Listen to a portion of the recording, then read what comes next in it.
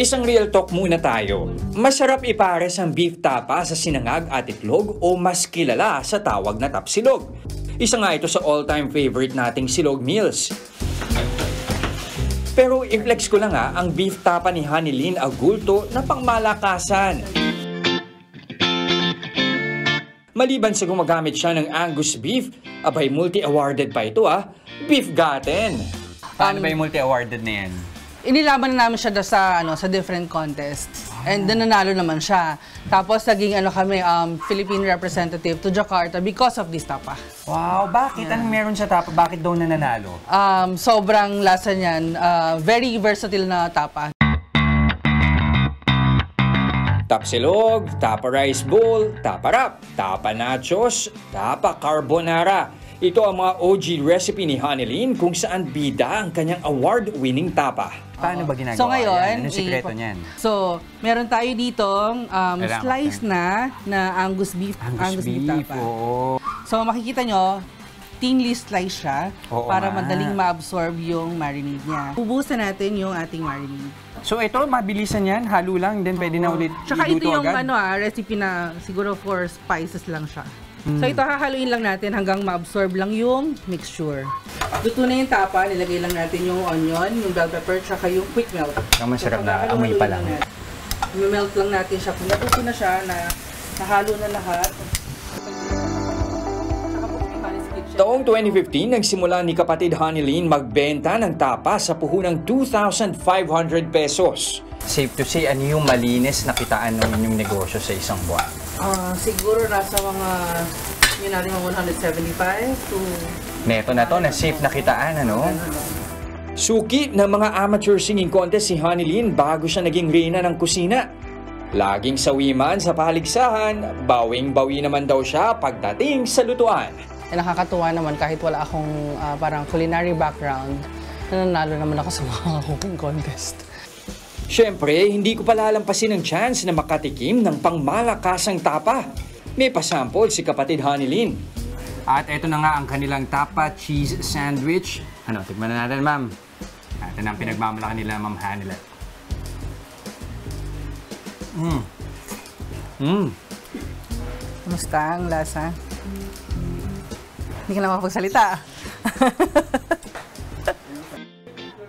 Pero bago nila nakuha ang saktong timpla, nakaranas din sila ng pagkabigo pero muling bumangon. Nagsara ang dalawa nilang eatery noong 2017 hanggang pumatok ang Top Addiction Al Fresco Resto na binuksan nila noong 2019 sa Marikina. At ngayon, meron na itong tatlong branch at isang franchisee sa Vigan, Ilocos Sur. Ano pa yung plano ninyo para sa inyong business? Papagawa kami ng ano ng commissary para ma-accommodate namin yung pag-supply sa mga supermarkets. Yun na. Yeah. Hopefully this year, So sa kanila, ano mapapayo mo? Given yung naranasan ninyo. meron ka dapat na supportive na fa- family. In my case, uh, very supportive yung husband ko. Na nakarating ako sa ganyang ano, uh, nandyan na yung tapa. Nandyan lang siya sa tabi. Yan. Hindi naman talaga mabilis magpalago ng negosyo. Bawal ang mainipin at syaga lamang all the time. Ay, nako. At para ibida ang kanilang tapa na along tapa, makakasama natin live si Hanlin at Arnold ng Tapa Diction. Good morning! Good morning, good morning. Sarap, ha? Diba? Yung tapa ninyo may tamis, na may halong asim, na may halong alat. Yeah. Masarap na seasoning. Oo. Pero ma- i-forewarn ko lang kayo. Kasi yung tapa namin, addicting siya.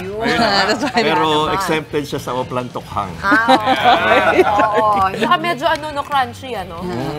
Tostado siya. Nasa luto ba yun? Nasa, Nasa luto. halo? Nasa Oo, luto siya. Nasa luto nyo. Oh, well done siya. eh. Oo. Ah, pero pwede rin kasi itong bilhin ng Frozen. Frozen. So, ah. Sarap yung kwentuhan And then, namin nasa dito. sa'yo na yun kung lulutuin mo ng tostado siya. Right. Or gusto mong parang, ano tawag doon? Parang ano lang siya. masyado. Oo. Para yung mga walang ngipin, pwedeng kainin. Galing talaga ni Arnold. Pero gusto ko yung binigay mo na kondisyon kay Honey. So, Mm. nag-iisip kayo kung ano yung inyong gagawing negosyo. Sabi mo, kailangan isang produkto lang. Yes. Diba? Ang galing talaga ng Oo, idea na kasi- yun. Dahil, galing na kasi kami dun sa niluluto niya, yung cook na, tapos hindi nauubos. Like may kaldereta, at, ganyan. At that time, may printing business ako. Okay. Parang ako assistant niya, ako taga-drive, ako taga buhat sa palengke. Supportive. Drivers with love. Tapos hindi nag-work out yun. Imagine, niluto mo. So, ang ginagawa namin sa bazaar, pag ah, ting madaling araw, pamimigay namin sa mga street sleepers, yung hindi naubos. Oh, hindi naman kasi So, pwede pinatigil offer ko siya. kinabukasan yun. Honey, mas madali kung isa lang, mas madaling i-maintain yung Oo. business. Yeah. Yung product na yan, very versatile. Pwede siya sa tinapay, pwede siya sa pasta, sa nacho, sa pita wrap. Actually, honey, sasabihin ko sana parang, yun nga, uh, pwede sa, sa Yeah. bread, all those things, diba?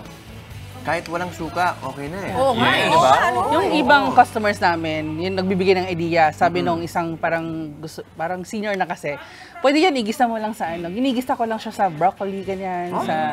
Oo. Yan, walang, siya. Ganun siya ka-versatile. O ngayon, Honey Arnold, saan nila kayo pwedeng makontak, saan nila mahanap ang Tap Addiction? Yan. Uh, meron po kaming branch sa uh, Marikina, meron kami sa South Supermarket, and uh, sa UP Town Center. Mga kiosk lang naman po yun. And then we, pwede kaming uh, kontakin din sa Facebook, uh, Tap Addiction by M, sa Instagram, tsaka sa TikTok. Teka, magkano ba? Magkano ba bibilin to? Yung per pack kasi is 450 grams. That, that's good for 4 to 5 packs na. Sa mga mami For- nating gusto 425. magnegosyo, perfect na pakete yan para sa mga gusto mag-reseller ng tapa. Yeah. Kasi para Diba? siyang bacon, ano? Oo eh. Bacon tapa. Sarap, Dali- maraming maraming salamat ha. Thank you. Arnold, yan na, honey. Thank you, thank you. Sa masarap na agahan namin. Oo, guys, ano, sobrang saya ko na. Oo. Mga kapatid, Jess De Los Santos po, maging maalam at may pakialam sa mga napapanahong balita sa bansa. Tumutok at mag-subscribe sa News 5 social media pages.